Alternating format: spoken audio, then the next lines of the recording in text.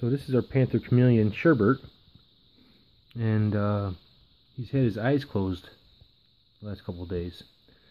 So I brought him to the vet yesterday. He uh, or she checked him out, and she said that everything looked good. There's no MBD, which is metabolic bone disease.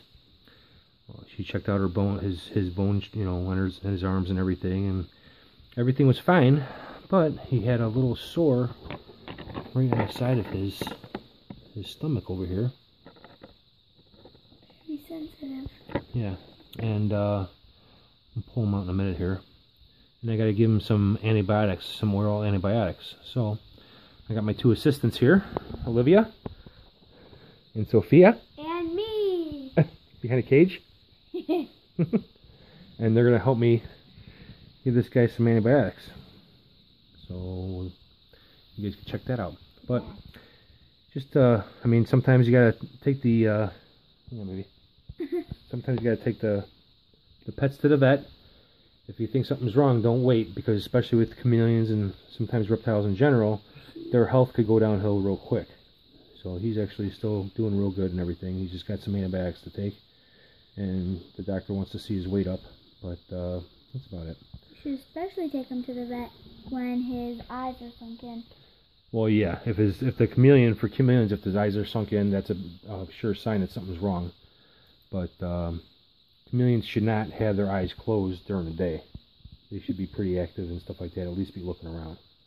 So that's another sure sign. But this was going on for probably about a week or two, so I just figured to get him into the vet.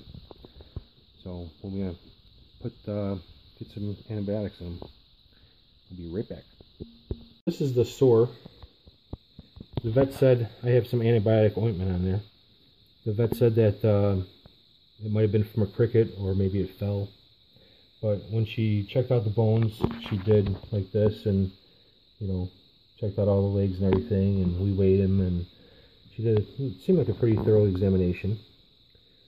So we're going to give him some antibiotics now. And uh, he's not going to like that, but has to be done. Come on, buddy.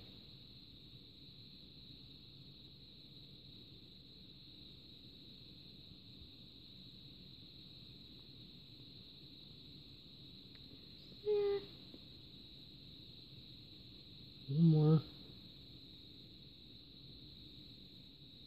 I saw his teeth. Come on, buddy.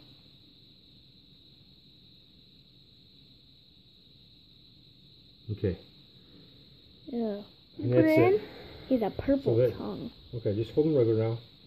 So that's all it was. So it was just a little, little push of the syringe. And it only has a very little. I mean, it's just a few drops. But that's all the chameleon needs. So I got 14. Now he's puffing up. Put it on. Yeah, he's not happy right now. I got 14 uh, doses for him, I guess. Uh, see, that side's fine. It's this side here that's got the bruise. Hold it straight. So, I.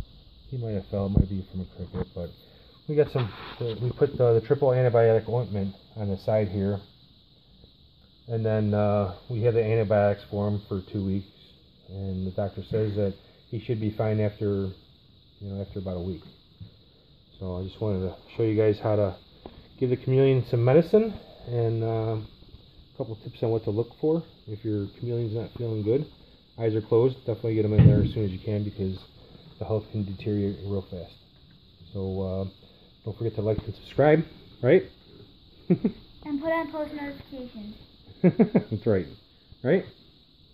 Alright. And nothing to add. Nothing? No, wait, wait. I Watch more videos. I have something to add. What? When these guys, when they, you see that little stripe, when Yeah. that turns white, that means that they're very uncomfortable. Yeah. It was, Something. yeah. okay. See you guys later. Bye.